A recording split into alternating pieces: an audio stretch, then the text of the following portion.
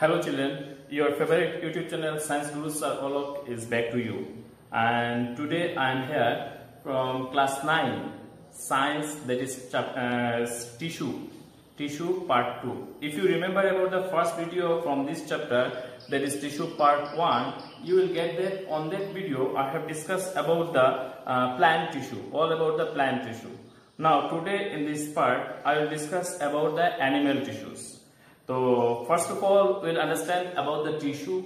We know that when a group of cells join together to perform a specific function, it is known as tissue. So again, when a group of cells join together to perform a specific function, it is known as tissue. Now we'll discuss about the classification of the animal tissue.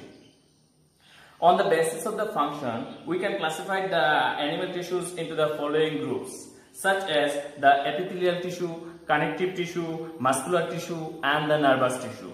First we will discuss about the epithelial tissue. The covering or protective tissues found in the animal body they are called as epithelial tissue and this epithelial tissue covers most of the organs and cavities in our body. So what is epithelial tissue? The covering or protective tissues found in our body and most of these tissues uh, covers the cavities and the organs in our body. Example, the skin, the skin, the lining of the mouth, the lining of blood vessels, etc. are made up of this epithelial tissue. Now, structure of epithelial tissue, the cells found in the epithelial tissue are tightly attached with each other and they make a continuous sheet. So, therefore, we can say that there is no intercellular spaces found in the epithelial tissue because they are tightly attached with each other. Now, we can classify the different uh, this epithelial tissue again into different types. These are on the basis of the location. Basis of the location, we can classify the epithelial tissue into different types. First one is the simple squamous epithelium. The cells of the simple squamous epithelium are extremely thin and flat and form a delicate lining. The esophagus, uh, the esophagus and the lining of the mouth are covered with this squamous epithelium. Second one is the cuboidal epithelium. This cuboidal epithelium forms the lining of kidney and ducts of the salivary glands and where it provides some mechanical support. This uh, cuboidal epithelium, they provide some mechanical support in our body. And the third one is the tall epithelium. The tall epithelium cells found uh, uh, they are present in the inner lining of the intestine and they are responsible for secretion. Now we will discuss about the second type that is the connective tissue. The cells of this connective tissue are loosely attached. The cells of these connective tissues are loosely attached and embedded in an intercellular matrix. The matrix may be uh, jelly type or the fluid substance there are different types of connective tissue as for example blood, bone, ligament and the cartilage. So we'll discuss about the blood first. Blood, blood has a fluid matrix called as plasma and in this plasma WBC that is the white blood cell, RBC or the red blood cell and the platelets are embedded or suspended here. This plasma contains proteins, salts and hormones and we know that function of the blood is very important in our body because this blood is responsible for transport of materials uh, food materials or the nutrients from one part to another part in our body. Next one is the bone. Bone is another example of connective tissue.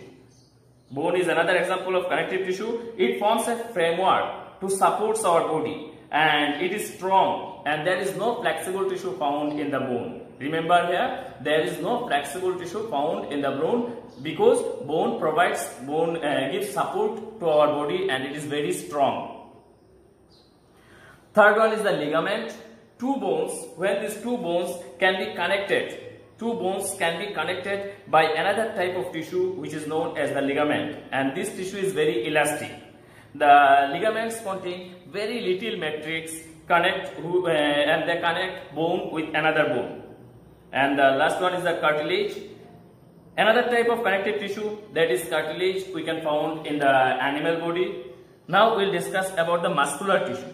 Muscular tissue consists of elongated cells and also they are called as muscle fibers. And this tissue is responsible for movement in our body. This muscular tissue, they are responsible for the movement in our body. Muscle contain the special protein called the contractile protein and which is responsible for contraction and relaxation of the muscles and due to this our body can move. We can move some muscles uh, by our conscious wills and these muscles are known as voluntary muscles.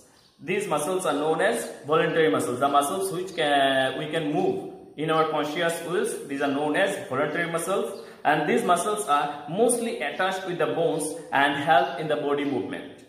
On the other hand, the contraction and relaxation of the alimentary canal, blood vessels or the cardiac muscles are not in our control. So these type of muscles are known as uh, involuntary muscles and this type of movement is also known as involuntary movement. We cannot control the movement of these types of muscles. These muscles are called as involuntary muscles. Now the last one is the nervous tissue. Here dear students, we know that all the cells possess the ability to give response in case of stimuli, any type of stimuli. This is because of this nervous tissue only. The brain, spinal cord and nerve cells are, uh, these are composed of this nervous tissue and the cells of this tissue are called as nerve cells or the neurons. So this is all about the animal tissue. Again, I am just uh, giving you the reminder, the important, the key points from this animal tissue. The first one is the classification of the animal tissue on the basis of the location, that is uh, epithelial tissue. Then classification of epithelial tissue again, that is the simple squamous epithelium, cuboidal epithelium and the tall epithelium. Then next one is the connective tissue. Connective tissue also we can classify it into different types. There are blood, blood, bone, ligament and the cartilage. And next one is the muscular tissue. Muscular tissue again uh, muscles are classified into two types that is the voluntary muscles and the involuntary muscles. And the next one is the nervous tissue. This is all about the animal tissue. Hope you understand from this video and this is all about for today. Thank you.